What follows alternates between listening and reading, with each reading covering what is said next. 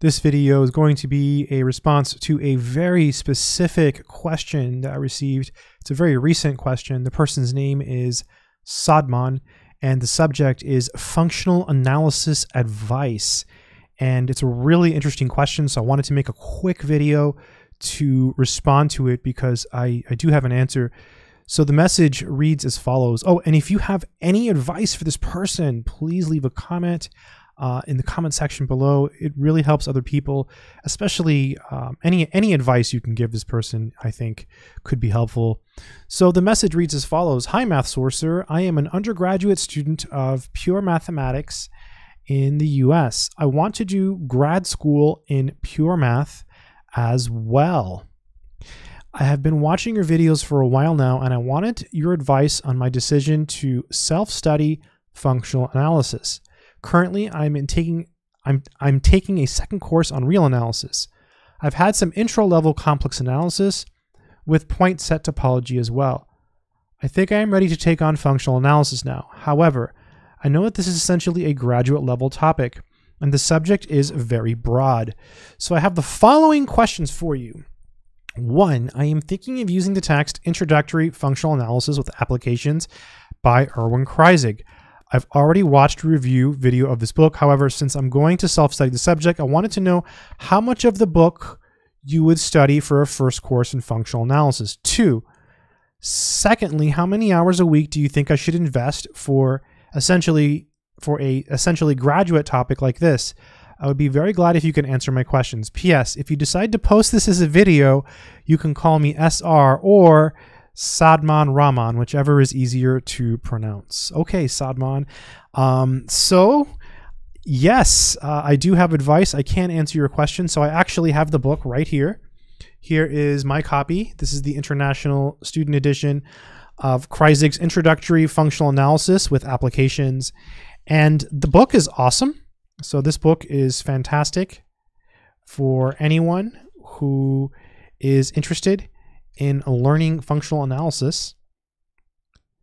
And here you can see it gives you kind of like a flow chart.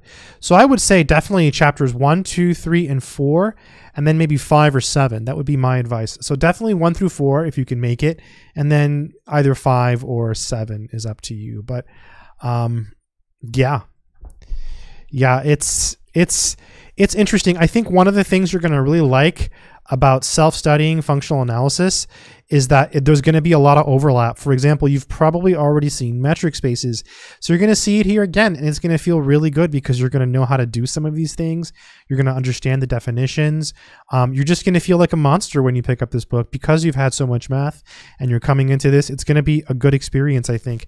This book also has plenty of answers, and they're not just answers, you know, they're solutions. He'll, he'll actually give you, um, you know, he gives you you know solutions to some of the problems. It would be really nice if you can get more answers. That would be really great. I don't know if that's possible. Maybe on the internet um, that would be a place to find more answers. Uh, maybe just google some someone maybe someone has like some uploaded homework answers or something. Um, i don't know if there's a like a full solutions manual to this book. That would be incredible because i'm trying to think of you as you know what you're going to be doing right you're going to be self-studying functional analysis from this book don't get discouraged. Um, you ask how long should you spend uh, going over the material of this book. Let me just read your question again. It was how many hours a week do you think I should invest for a topic like this? I would be very glad if you can answer my questions. Yeah, so I, I honestly, I mean, the more you can spend and you know keep the rest of your life intact and stay motivated and not burn out, that is what you should spend. Um, I, I would start with just start with one session. Start with an hour, see how it goes, and maybe you can just do like an hour a day. I know that sounds like very little, but you don't want to burn out. Um, you can do more. Um, it's it's tough to do something every day, but you definitely want to get into some type of routine where it's it's just like a habit now. Like you're you're waking up in the morning and the first thing you're doing is 30 minutes of mathematics, or you know every day before lunch you do 30 minutes of mathematics. Try to turn it into something that you do normally, and I think you'll be um, really successful. But honestly, anything you learn, even if you only make it through chapter one of this book, is better than nothing. And that's probably not what you're thinking. You're probably thinking, I want to read the whole book, I'm going to master everything. But you should try to do that. But if you fail, like let's just say you only make it through chapter one, that's okay. The knowledge you gain, even from just one chapter, is incredible. Even from just 30 minutes, even if you just sat, sat down for 30 minutes or an hour, an hour with this book and did, you know, maybe two proofs and read a little bit and did an example, you would learn things and you would remember that experience for a very long time. And that'll help you. So when you do take functional analysis in grad school, um, you you can be better. This book is really cool and functional analysis is really cool because it has a lot of topics from different areas of math. And so again, you're going to see things that come up from other other fields that you've studied, which makes it super super cool. Uh, for those of you watching this video that um, don't know functional analysis, if you're interested in learning functional analysis, um, you do need to know how to write proofs. You need, you need to have some math background, right? So this is a graduate level course. But if you've already had uh, some some serious mathematics, um, this is not too bad. Again, this person, Sadman Rahman, uh, has already had. Okay, so they've already had uh, a course on real analysis. They're taking their second course on real analysis. They've had an intro course on complex analysis with point set topology as well. So um, they've, they've had some advanced mathematics. They know how to write proofs. They know how to read math books.